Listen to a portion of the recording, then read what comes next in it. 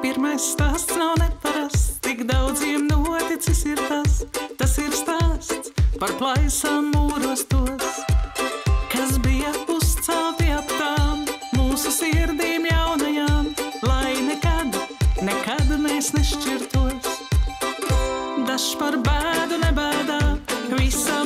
meža garumā, tomēr pirmais stāsts nav par to, jo dzīves sūta negaisus, kas sāp.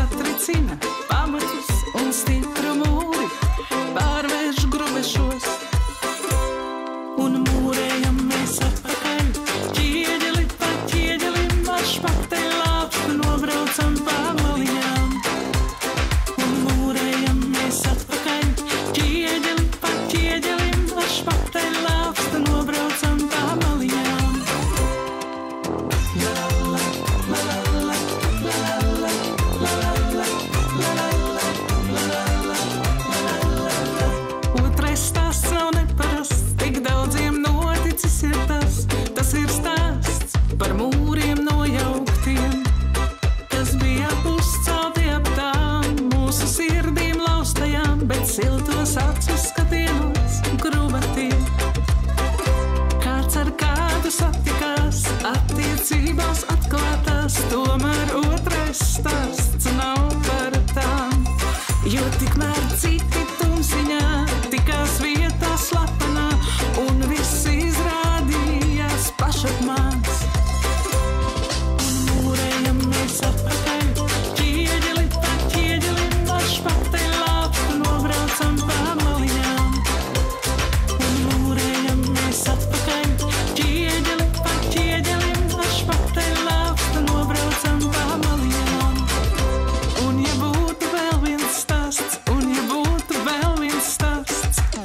bet nav.